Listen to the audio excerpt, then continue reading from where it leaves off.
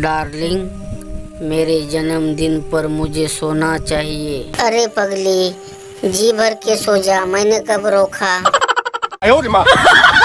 यही नहीं अभी और सुनिए। अरे यार तेरी आँखें क्यों सूजी हुई सी लग रही है आज? अरे कल मेरी बीबी का बर्थडे था। बर्थडे का और तेरी आँखों का क्या कनेक्शन अरे यार मेरी बीबी का नाम तपस्या है और साले उस दुकानदार ने केक पर लिख दिया हैप्पी बर्थडे समस्या।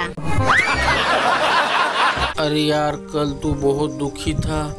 हाँ यार बीबी ने कल पच्चीस हज़ार की साड़ी खरीद ली। और आज बहुत ही खुश है क्या राज है? आज तेरी बीबी को साड़ी दिखाने गई है।